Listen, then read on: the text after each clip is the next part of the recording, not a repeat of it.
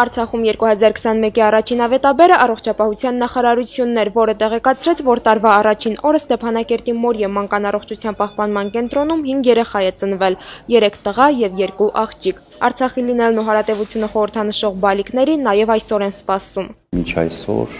2021 թվականի սկզբից մենք ունեցել ենք 20 11 ծննդաբերություն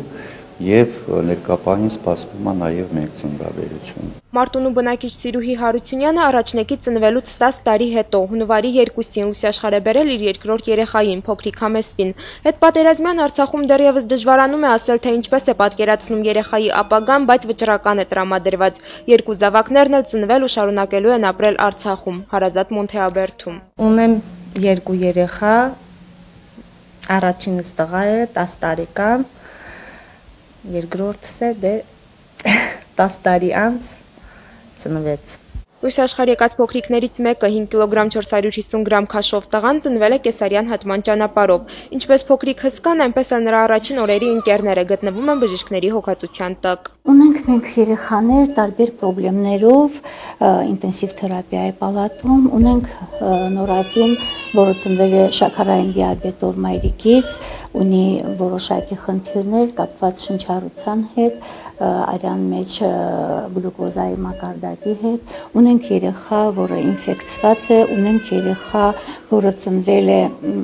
ներարգանդային աճի դանդաղումով, անհաս երեխա, Նորածիների ինտենսիվ հսկողության եւ թերապիայի բաժանմունքի վարիչը վստահեցնում է, որ բաժանմունքում գտնվող եւ խնդիրներ ունեցող երեխաների կյանքին վտանգ չի սպառնում։ Այդ փուլն անցել եւ ներկայումս առողջացման փուլում են գտնվում նորածինները։ Երեխաները բոլորն էլ ստացել են եւ ստանում են բուժում, ինտենսիվ հսկողություն եւ ինտենսիվ բուժում,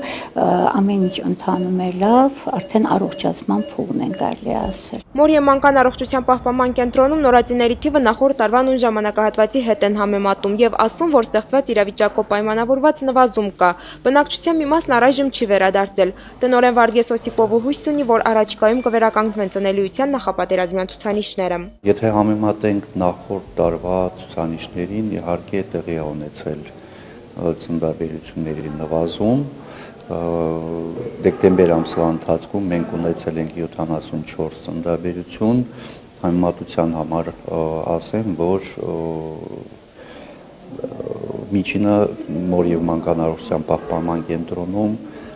տեղի էր ունենում 20 թվականին մոտորապես 150-ից 160 ծննդաբերություն։ Հույսերի մի ամբողջ փունջ ծնողներին ու ողջ Արցախին ապարգևած նորացիների մայրիկները մի բարձ ցանկություն ունեն, որ այլևս պատերազմ չլինի, 2020 թվականը ել երբեք չկրկնվի։ Ասում են դա Արցախում ապրելու եւ այն շենացնելու գլխավոր նախապայմանն է։ Թող 2021-ը լինի խաղաղության տարի, որ մեր երեխաները ապրեն իրենց հողում եւ խաղաղ պայմաններում։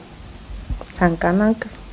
խաղաղություն։ Մենակ դա եմ ուզում։ Իսկ իրենք դեռ շատ բալիկներ են ունենալու։ Արցախը հայ ապրելու եւ հարատևելու խնդիր ունի։ Արմինե Պետրոսյան, Տիգրան Սարգսյան, օր